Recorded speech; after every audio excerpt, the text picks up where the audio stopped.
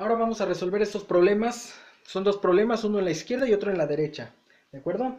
El problema de la izquierda dice lo siguiente.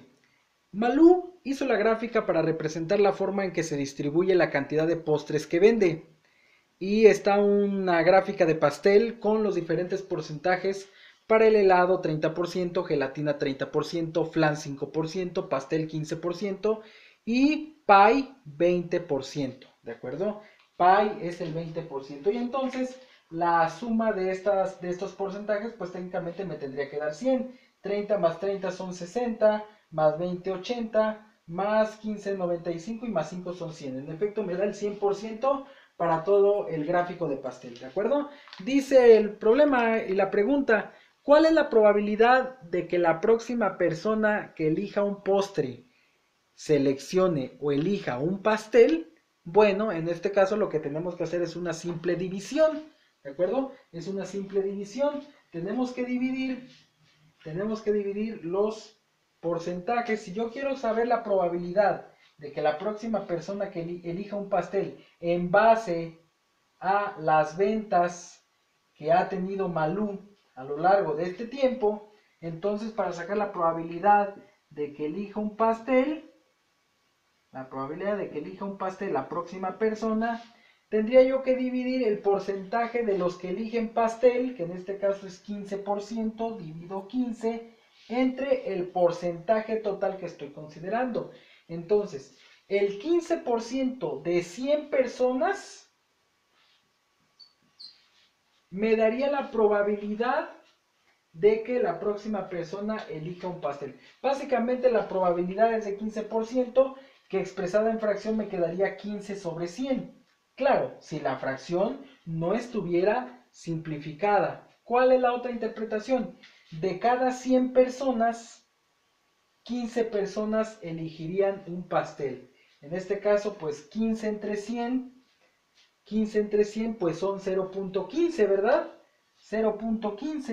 Entonces la probabilidad es de 0.15, ya sé que está expresada en fracción, está expresada en decimal, si está expresada en, porcentaje, pues sería 15%, ¿verdad?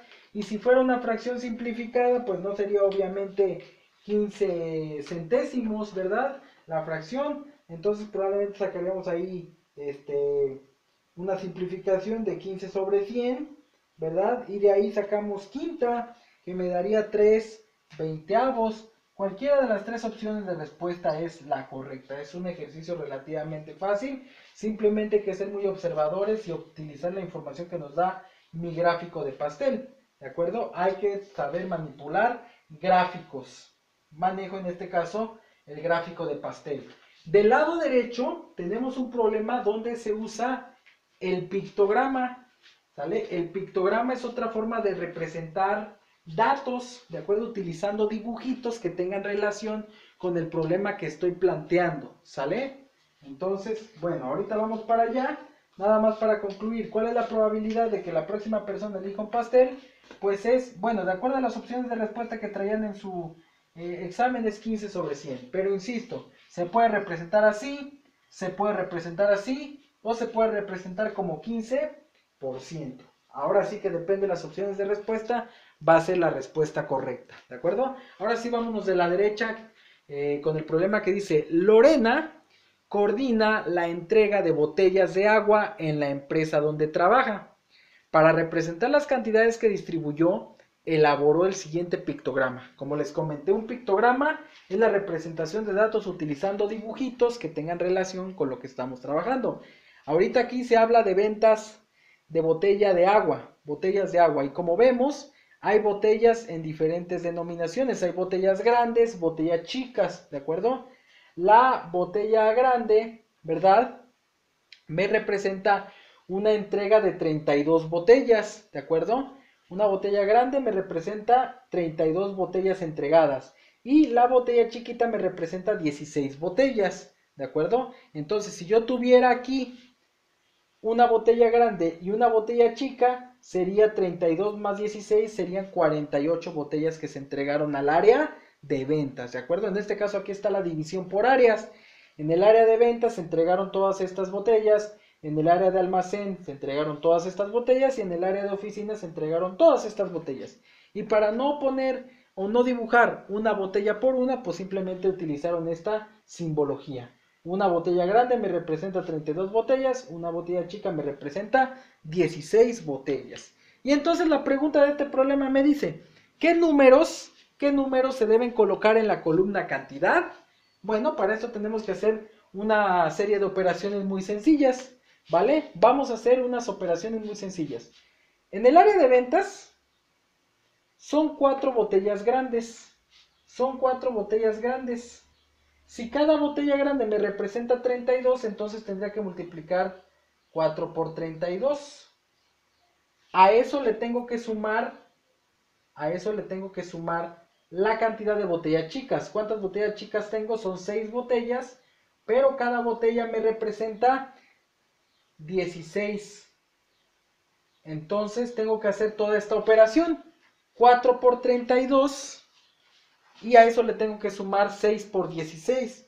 4 por 32 me da 128, ¿de acuerdo? 128.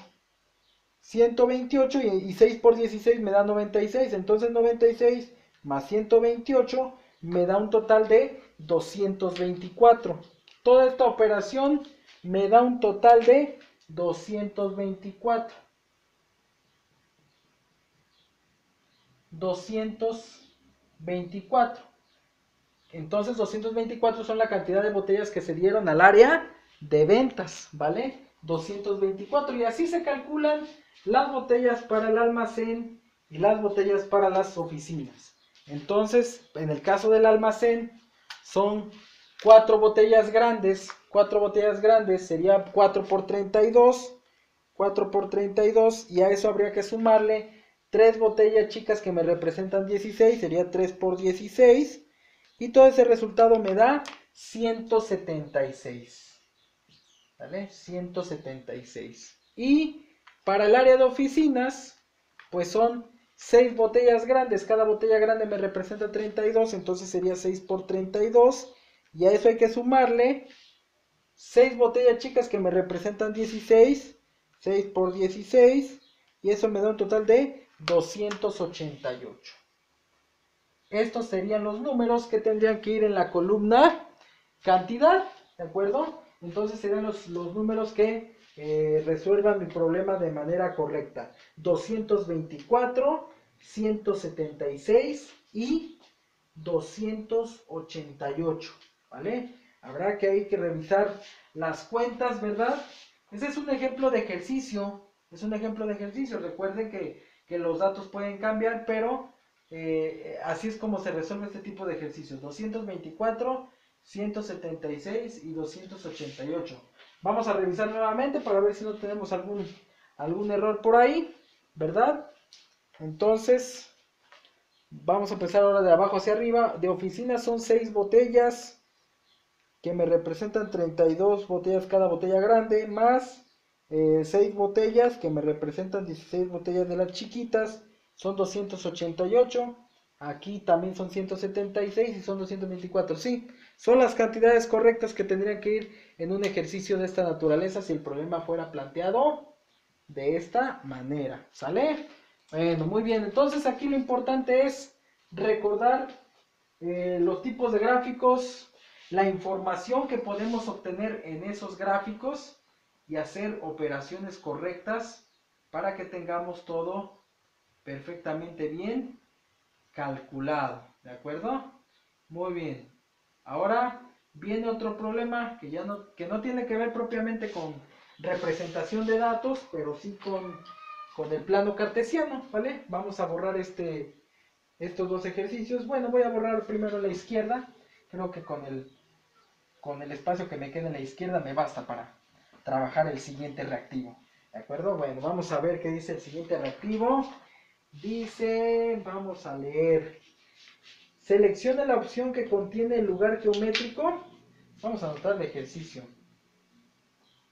Selecciona la opción que contiene el lugar geométrico. Ajá, selecciona la opción que contiene el lugar geométrico de los puntos de la gráfica dibujada en el siguiente plano. De los puntos de la gráfica de la gráfica ajá, dibujada en el siguiente plano dibujada en el siguiente plano. Y viene un plano cartesiano ajá viene un plano cartesiano.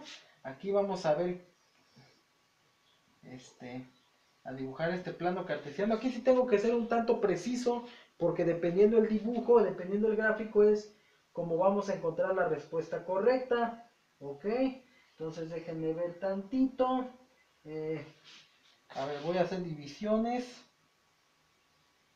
voy a hacer divisiones aquí, ok.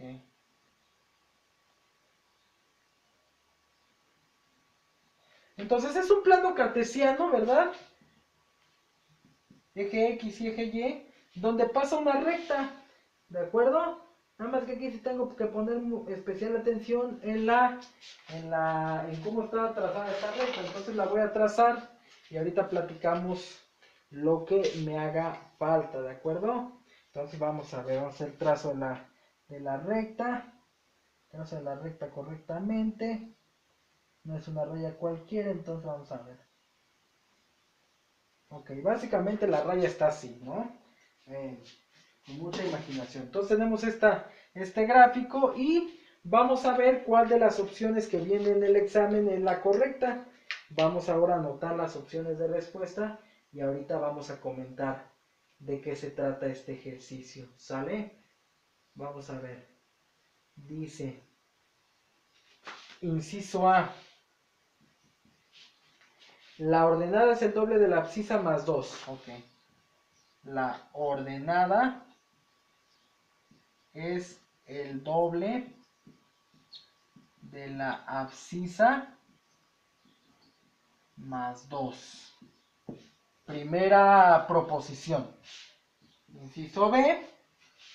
La ordenada es la mitad de la abscisa más 2. La ordenada es la mitad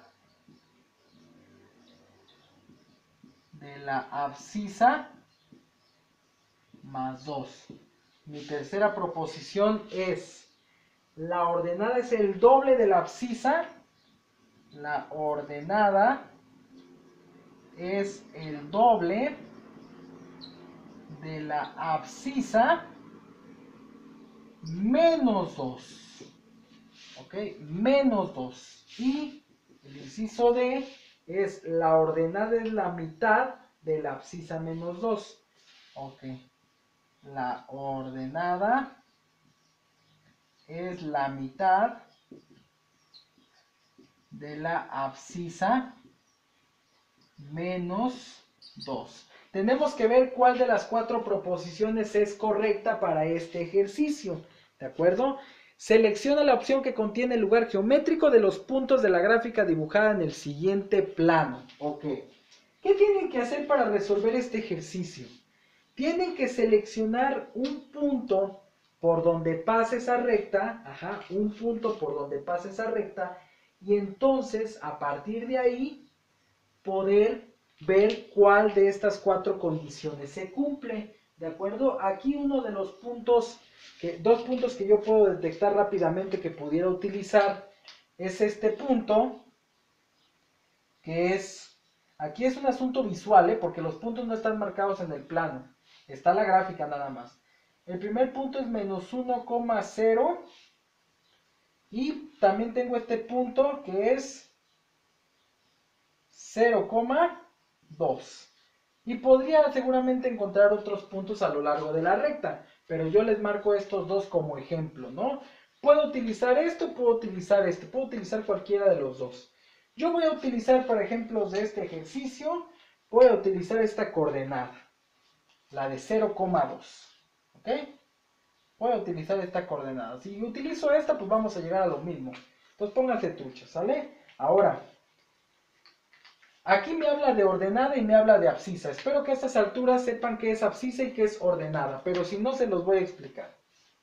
Una vez que ya elegí el punto 0,2, que es el que voy a utilizar para hacer las pruebas, el primer valor sabemos que es el valor de x y el segundo valor es el valor de y, ¿verdad? x vale 0 y y vale 2. En otras palabras, la abscisa, que es el valor de x, vale 0 y la ordenada, que es el valor de y, vale 2. La abscisa vale 0, la ordenada vale 2. Abscisa es lo mismo que valor en x, ordenada es lo mismo que valor en y. ¿Sale? Para que si no les había quedado claro, ya lo tengan claro en este preciso momento. Entonces vamos a, comparar, lo, este, hacer cada una de las eh, este, de las proposiciones a ver cuáles son verdaderas, cuál es la única que es verdadera y cuáles son falsas, ¿no? Primer inciso dice, la ordenada, la ordenada, que es 2, es el doble, es igual al doble de la abscisa más 2. La ordenada es el doble de la abscisa más 2. A ver, veamos. 2 por 0, 0 más 2. 0 más 2 es 2. Pues sí, ¿no? Se cumple. Sí se cumple, ¿no? La ordenada, que es 2, es el doble, es igual al doble de la abscisa. 2 por 0 es 0, más 2. Se cumple la igualdad yo podría decir que el inciso A entonces es la respuesta correcta. Nada más vamos a asegurarnos que estas sean falsas. ¿Ok? Inciso B. La ordenada es la mitad de la abscisa. La mitad de la abscisa. Si la abscisa es 0, pues la mitad es dividir entre 2. Más 2. ¿Ok? A ver, vamos a ver. 0 entre 2 da 0. Más 2. Oigan, pues también me da 2, ¿no? ¿Ya vieron? Entonces también es correcta. Ok. Vamos a continuar con el inciso C. La ordenada es el doble. La ordenada la ordenada es igual al doble de la abscisa, al doble de la abscisa,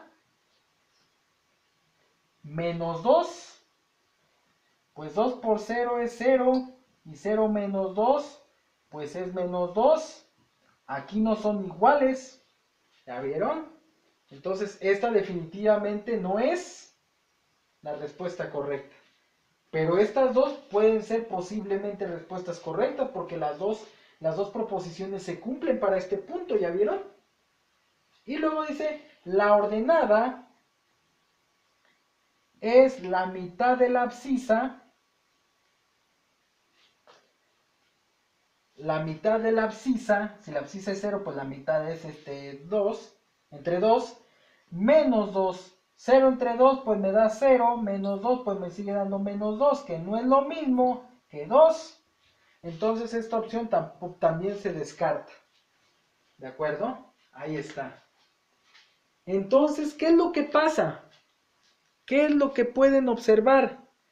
Que hay dos opciones de respuesta correcta, ¿verdad? Hay dos opciones de respuesta correcta, porque en este caso ambas se cumplen. La ordenada es el doble. La ordenada es igual al doble de la abscisa más 2. Pues sí se cumple. La ordenada es la mitad de la abscisa más 2. También se cumple. ¿Cómo vamos a saber cuál de las dos es la correcta? Porque obviamente no hay dos respuestas correctas, ¿verdad? Entonces para eso tenemos que utilizar el otro punto Ajá, el otro punto que también pude encontrar en mi gráfico, que también pude observar, ¿de acuerdo? Entonces, fíjense bien, Ya descartamos la opción C y la opción D, que no tienen ninguna razón de ser, pero ahora vamos a utilizar el otro punto, ¿sale? Vamos a utilizar el otro punto. ¿Cuál es el otro punto, profesor? El otro punto que también pude ver, que es menos 1,0. Menos 1,0. Esta es la abscisa, menos 1, y la ordenada, que vale 0. Vamos a ver cuál de estas dos condiciones se cumple para este punto. ¿Ok? Vamos a ver si también se cumplen las dos condiciones o solamente es una de las dos. ¿De acuerdo? Vamos a ver qué es lo que sucede. Primera opción. La ordenada, que en este caso es 0, es el doble de la abscisa. 2 por menos 1 es el doble de la abscisa más 2 más por menos es menos, 2 por 1, 2, más 2, pues menos 2 más 2 sí es 0. Entonces la primera proposición se cumple. ¿Sale? Hasta ahí vamos bien. Vamos ahora con la segunda proposición. La ordenada es la mitad de la abscisa. La mitad de la abscisa, es decir, si la abscisa es menos 1 y la divido entre 2, pues es la mitad, ¿verdad? Más 2 Menos 1 entre 2 en decimales menos 0.5. Y menos 0.5 más 2, ¿qué creen? Es 1.5. 0 no es igual a 1.5. Por lo tanto, para este punto que también pertenece a esa recta, esta segunda proposición no se cumplió. ¿De acuerdo? Entonces, la única proposición que se cumplió para los dos puntos que yo logré distinguir en esta recta es la del inciso A. ¿De acuerdo? Entonces probablemente tengan que hacer pruebas con dos puntos por donde pase esa recta. Estos dos puntos yo los elegí porque fue los que, los que vi con más claridad. Pudieron haber elegido probablemente otros puntos, ¿de acuerdo? Pero iban a llegar a la misma conclusión. Nada más para que lo tomen en cuenta. ¿Sale? Seguimos trabajando en otros videos. Estudien mucho y pórtense bien.